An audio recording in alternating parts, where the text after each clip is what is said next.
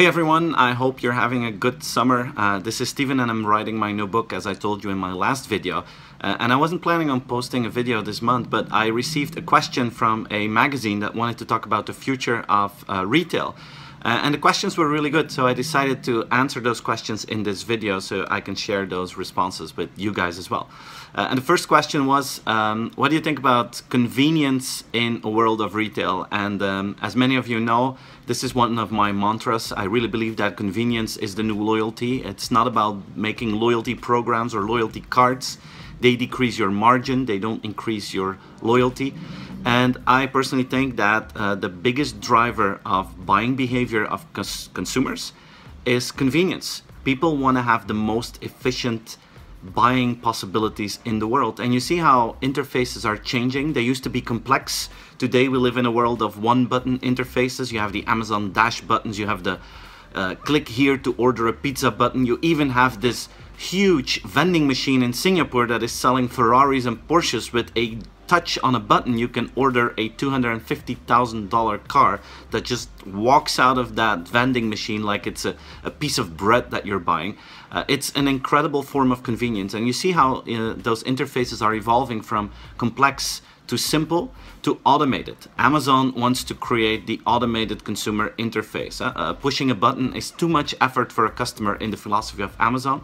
They want to create automated systems because they know based on your buying behavior what you want and when you want it so they can actually deliver products before you even know that you need them. And then you arrive in that world of faster than real-time customer service. So absolutely convenience is the key driver in retail growth at this moment if you ask me. Second question, uh, retailers feel less ready for digital in 2017 than they felt in 2016. Um, I fully sympathize with that. I think most retailers feel now that we are entering phase three of digital. And phase two was about uh, mobile and social. And phase two started in 2007 with the arrival of the iPhone. Uh, and last year or two years ago, it was clear. Uh, it was about e-commerce, it was about mobile apps, it was about social media. Everyone knew what they had to do, so they felt ready to move forward. Now in 2017, things have changed and people feel that this third phase of digital has started. And this phase is about artificial intelligence and about automation. This phase is about making sure you have data about the um, recurrent processes in your industry and that AI can help you to automate them. And for many, many companies, I mean, they, they were getting ready for phase two and getting ready for e-commerce. Most retailers invested in e-commerce the last two years. They invested in mobile apps in the last two years. And now when they thought that they were ready for it and that they were really going with the flow, you, you hear all these stories about AI and this is very abstract and very unclear for most companies what to do with it. So I can imagine that people feel less ready for the future than they did a few years ago. Oh, yes, I have to tell you this. We are doing a Silicon Valley tour um, about the future of retail. It's not really a Silicon Valley tour, it's actually the combination of New York to look at the future of retail and offline retail with Silicon Valley to look at how technology is changing retail. Um, and some European retailers think this is a totally different world and that they don't find ideas that they can implement here in Europe. I totally disagree with that. I think if you looked at how um, retail has evolved in Europe, I think that we have taken a lot from the US and I think we have used many of their examples and that we are becoming more and more US-like in retail. Um, besides that, the world of e-commerce is very global. People buy stuff from Alibaba in China. People buy stuff from e-commerce companies that they've never heard of people buy stuff from the US, from Amazon, and they are used to a global environment. So uh, because of this globalization of retail, I think that what is happening in both China and the US, and especially US for European companies, we need to have a close eye on that and see what we can learn, what we can steal, what we can copy, and make sure that we stay ahead of the curve. So we will see a lot of these real-time examples that can be used in Europe right away when you're back from the tour. Other question is food.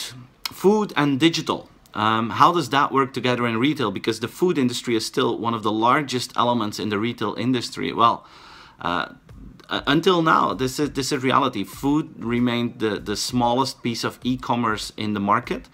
Um, but this is changing. Um, let's look at what Amazon did a few weeks ago when they bought Whole Foods for $13.7 billion. that was a move going into food retail.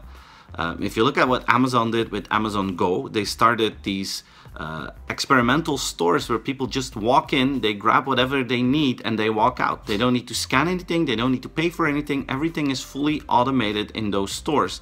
And those are specifically targeted at the food industry. So at this point, it is absolutely right to say that food is still a minor part in e-commerce.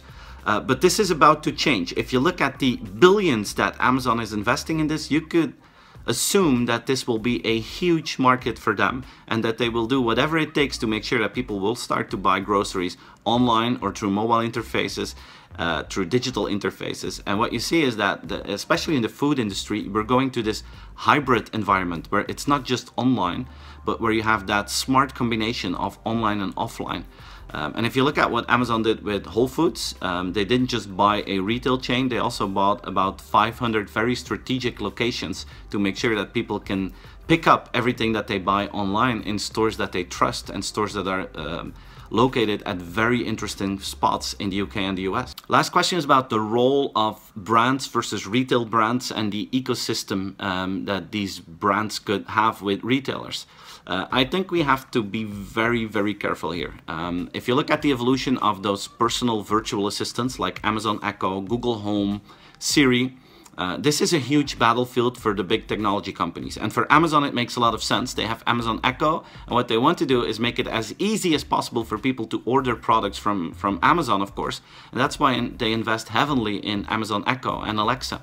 Uh, for Google, this is a threat because if Amazon succeeds in this strategy, you don't need search anymore. So Google is going full force with the Google Assistant and Google Home. But if Google is, is like the king of the world in these virtual assistants, this is a threat for Apple in the smartphone industry. So Apple will move forward as fast as they can with Siri. So the, the big technology companies in the world are investing like crazy in these smart interfaces and in these voice assistants. Um, and this will change the hierarchy of brands, if you ask me. I think that people trust those technology brands so much that they will start to buy stuff directly through those voice controlled systems. And because of that, the big technology companies are like the A brands in the market. And for all other brands, they play at a lower level. So the hierarchy of brands will change completely.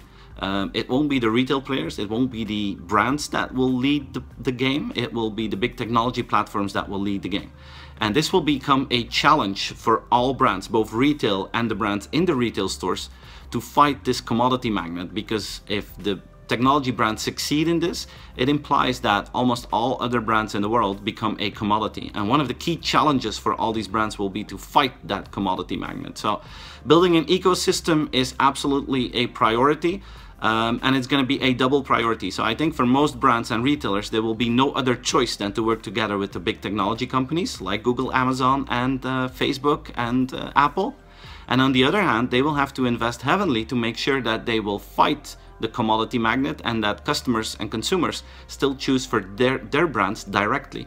And this will be a big balance exercise to make sure that you, on the one hand, partner up with these technology companies and on the other hand, keep your own brand strong. Last question was, if everyone becomes a commodity, how can we still be relevant as a retail brand? Um, and, and this is going further on what I just said. It's about fighting that commodity magnet and it's about figuring out how you can make sure that you can still influence consumers to buy from you. And there are a number of things you can do. I think the, the human aspect will play a huge role. I think people expect top human service in retailers. Um, I think if you go to a retail store, what you expect is a fantastic human interface, not just an average one. You don't want people to be friendly, you want them to be proactive, you want them to be enthusiastic, you want them to be empathic. They have to score really, really high on all these human skills because that will be a huge differentiator. Uh, second aspect will be uh, to make sure that they communicate through different channels. I mean, if you look at what brands and retailers are doing today, they still communicate like it's 2003. They're still investing in the same old platforms. They're still doing print. They're still doing TV. They're investing a huge amount of money to capture the attention of customers in platforms where it is extremely expensive to get the attention of customers. So they will have to figure out which new channels to use. And I'm not just talking about Facebook or Google here, uh, I'm also talking about the channels that people trust, and this is different for every market. It could be an article in the press, it can be an, an article that is shared a lot on Facebook, but it could also be like influencers on Instagram or YouTube. So this is going to be a very, very difficult exercise to figure out what can differentiate us retailers today in a world where digital platforms take over the, the, the top position in the hierarchy of brands. And I think this will be extremely important to invest a lot of money in that and to make sure you have a budget and expertise shift towards the new needs and that you stop doing marketing like it's 2003. So I, I hope this was relevant for you. I just thought these were interesting questions about the future of retail. And as I said, we're doing a retail tour in October. If you want to join, just drop me an email and I'll be happy to send you some more information. And after this video, I'm going back to writing to the book Customers the Day After Tomorrow. I hope to see you again soon on one of the next videos or online. Bye-bye.